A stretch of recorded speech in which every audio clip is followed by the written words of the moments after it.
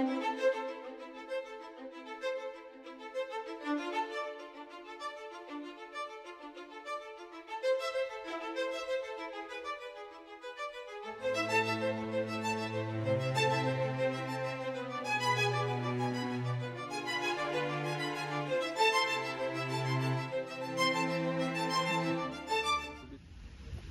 Sono 79 anni che la Yuc a Roma permette di ascoltare praticamente tutti quanti i generi musicali, eh, dalla musica antica, quella barocca, alla musica contemporanea, al jazz,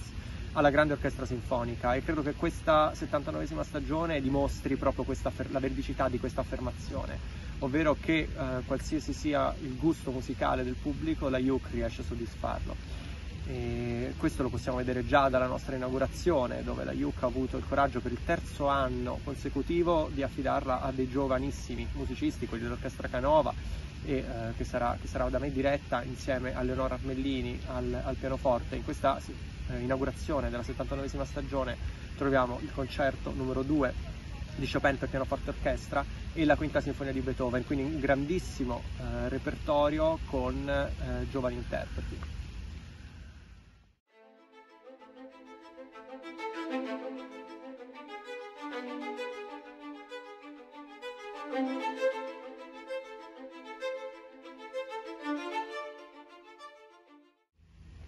Sono due i concetti che stanno alla base della residenza artistica mia e dell'Orchestra Canova La Yuc. Da una parte la possibilità di confrontarci con il grande repertorio, eh, questa è una cosa abbastanza rara e ci vuole una stagione importante come quella della Yuc per, per avere una possibilità del genere e quindi vediamo che nelle ultime tre inaugurazioni abbiamo, prim- abbiamo iniziato con eh, il concerto Imperatore e la settima sinfonia di Beethoven, proseguito con il Don Giovanni di Mozart e, siamo, arriviamo quest'anno al secondo di Chopin e alla quinta sinfonia sempre di Beethoven.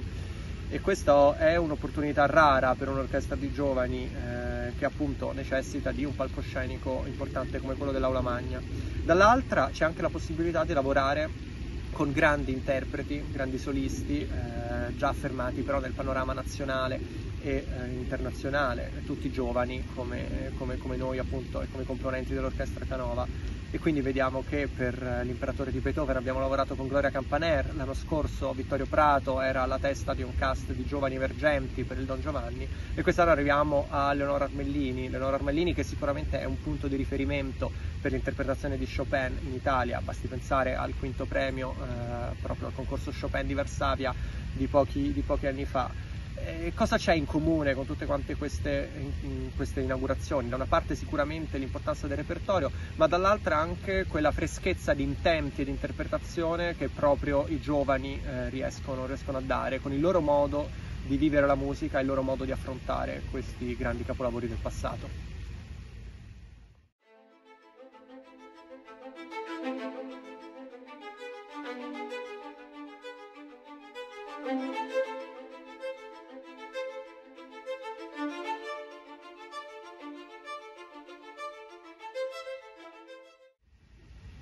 L'ottantesima stagione è un appuntamento importante, molto atteso, a cui stiamo già lavorando con la direzione artistica, la presidenza e tutto lo staff della IUC.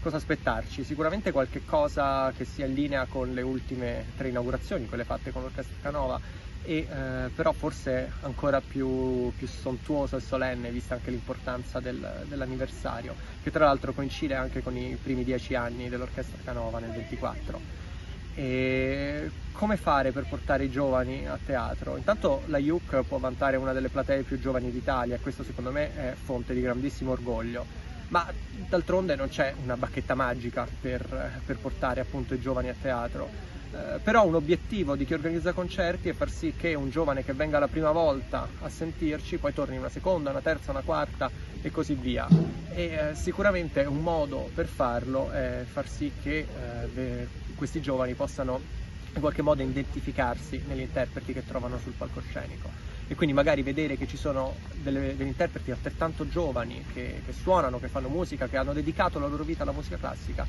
può essere sicuramente un, un modo per, per facilitare tutto ciò.